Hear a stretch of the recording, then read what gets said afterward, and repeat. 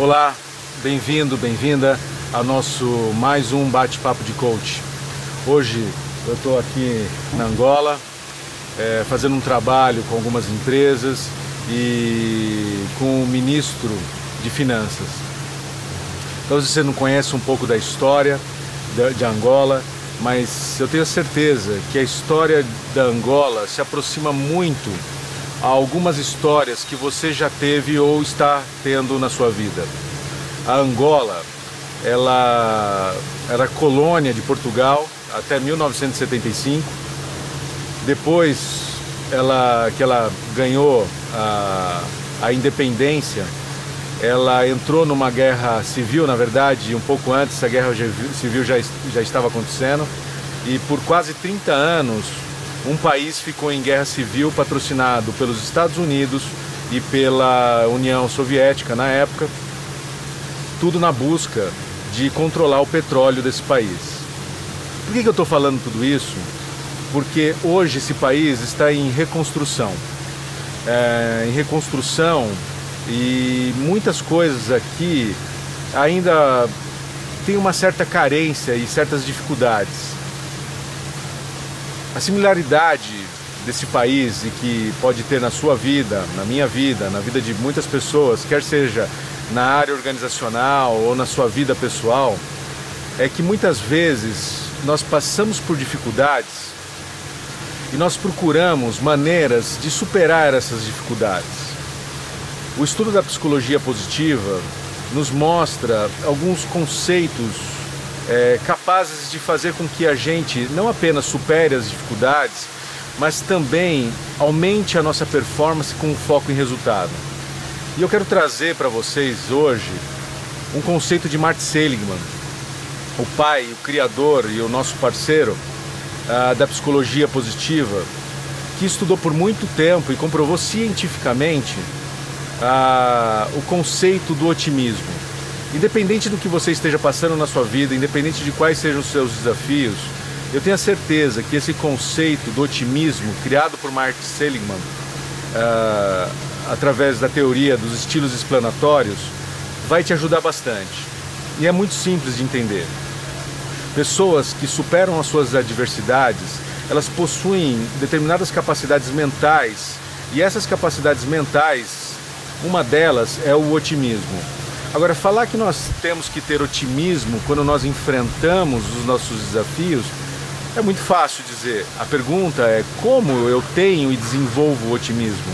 E foi isso que o Mark Seligman estudou com, seus, com a sua teoria dos estilos explanatórios. Fundamentalmente, existem três conceitos que nós temos que entender quando nós falamos sobre os estilos explanatórios. O primeiro deles é o conceito do tempo. É, muitas pessoas, quando passam por dificuldades em suas vidas, elas tendem a pegar o problema no presente e jogar o problema para o futuro. O que eu estou dizendo com isso? Ah, se você tem um problema no seu relacionamento, muitas pessoas que passam por problemas de relacionamento, elas tendem a pegar esse problema que está passando no presente e rapidamente jogar esse problema para o futuro, começando a imaginar o que ela tem que fazer, é, já que esse problema que ela está enfrentando não vai ter solução. Ela já começa a pensar em separação, como vai ficar os bens, com quem vai ficar os filhos, o que deve ser feito para se separar. Pessoas otimistas, elas isolam o problema no tempo presente.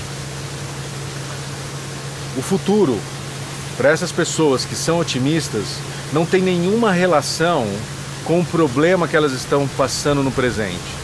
Isso pode ser uma doença grave ou pequena, pode ser um problema no relacionamento, pode ser um problema na empresa, pode ser um desafio com o chefe, com o funcionário.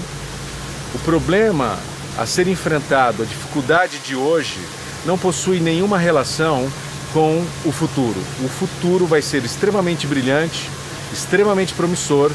O que basta é simplesmente eu entender o problema hoje, isolar o problema hoje e ter planos e maneiras de lidar com esse problema. Esse é o primeiro conceito do tempo. O segundo conceito é a generalização. O que, que é essa generalização?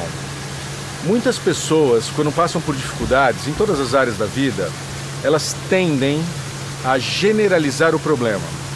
Voltando no caso do relacionamento, algumas pessoas estão com um problema de relacionamento específico, alguma forma de comunicação que deseja fazer com que o marido ou a mulher faça determinadas coisas, ou com o filho que faça determinadas coisas, ou com um funcionário que faça determinadas coisas. E essas pessoas que são consideradas pessimistas, elas tendem a generalizar o problema. O que, é uma generalização do problema? É o meu relacionamento está uma porcaria. Este funcionário não presta. A minha empresa não é boa para se trabalhar. O país, o meu país, o país que eu vivo, é, é uma porcaria. Qual é o problema quando você generaliza? Você perde uma das capacidades mais incríveis que todos nós temos e que nós não podemos abrir mão, que é a capacidade de controlar o nosso destino.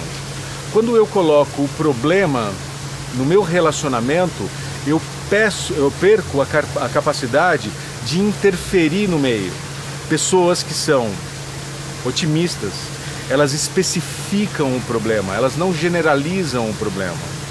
Então eu tenho um problema de comunicação com a minha esposa para fazer com que ela entenda da importância que eu tenho de sair uma vez por mês, uma vez por semana com os meus amigos.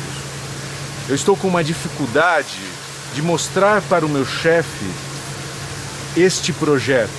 Você percebe? O meu chefe não tem nenhuma relação de relacionamento com dificuldade comigo. É uma dificuldade apenas e específica. Quando eu consigo especificar o problema, eu consigo ter meios de interferir e mudar o modelo de mundo que eu estou vivendo.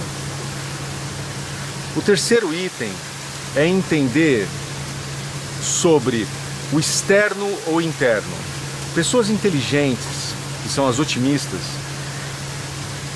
elas entendem que o problema não é delas, o problema é do meio externo.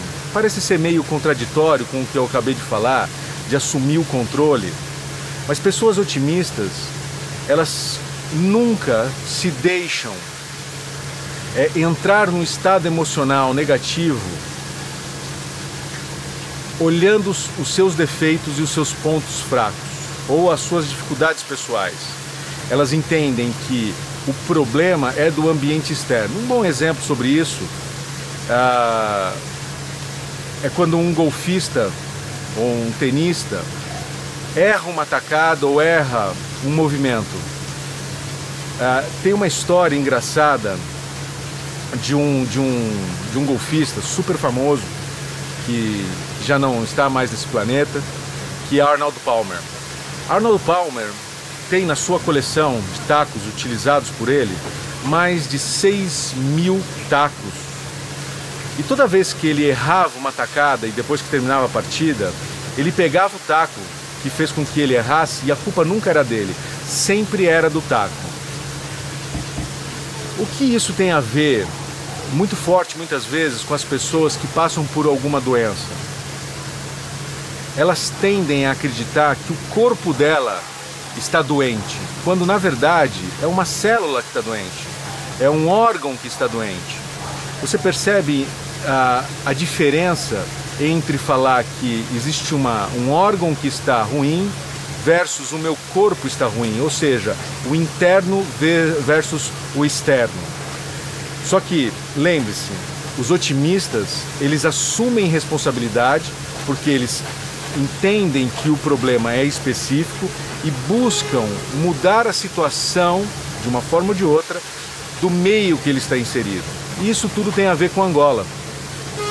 Os governantes de Angola entendem que o país está passando por uma dificuldade. Entenda isso. O tempo ele é presente, mas o futuro pode ser brilhante. Eles entendem que existem problemas na economia, que existem problemas de educação, que existem problemas das pessoas, os empresários aqui dentro, dificuldades, mas é possível interferir nesse meio.